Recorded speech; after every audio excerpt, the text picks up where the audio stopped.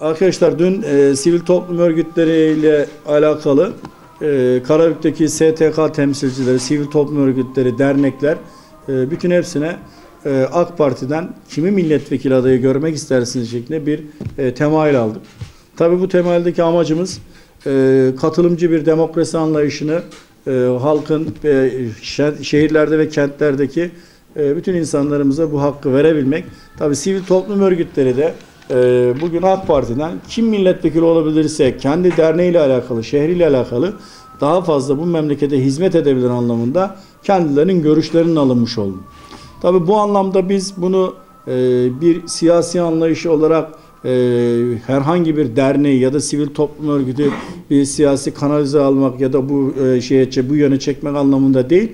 Biz görüş sormak anlamında. Bu görüşü biz AK Parti olarak kendilerinden aldık.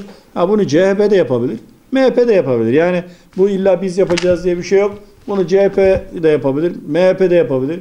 Gider bütün sivil toplum örgütlerinden kendi partisiyle ilgili şehirde kimin daha çok milletvekili olabileceğini, kim daha bu şehre hizmet edebileceği anlamında onlar da sorabilir. Biz e, katılımcı bir demokrasi anlayışıyla bu görüşü aldık ve biz bu görüşü aldığımızdan da kendilerine bize vermiş olduğu destekten e, 403 tane sivil toplum örgütünde oy kullanmaya geldiğinden dolayı da kendilerine biz ayrıca teşekkür ediyoruz. Kendileri de yapabilir. Yani burada illa AK Parti yapıyor diye bir şey yok. Yani buyursunlar sivil toplum örgütlerini biz e, katılımcı demokrasi anlayışıyla onlara da bir söz verdik ve bu sözüyle ilgili de şehirle ilgili kendilerinin görüşlerini alıyoruz. Bunu yalnızca biz değil kendileri de yapsınlar. Yani e, bugün siyasi partiler içerisinde demokrasi anlayışını demek ki en e, gerçekleştiren parti biziz. Demokrasi anlayışı varsa buyursunlar onlar da yapsınlar. Biz demokrasi anlayışı çerçevesi içerisinde yapıyoruz. Sivil toplum örgütleri illa kendi bulunduğu dernek, kendi bulunduğu sivil toplum örgütü açısından yalnız onun işte kısır açısından bakmıyoruz. O kısır döngünün dışına çıkalım.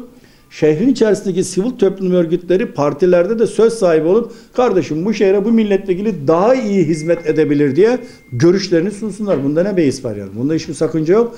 Bence daha yüz doğru sonuca da ulaşabilecek bir sistem oldu. Ve biz ilki gerçekleştirdiğimiz için her zaman için AK Parti olarak bundan da e, kıvaç duyuyoruz. Tabii biz demokrasi anlayışı içerisinde de e, en demokrat partide kendimizi görüyoruz.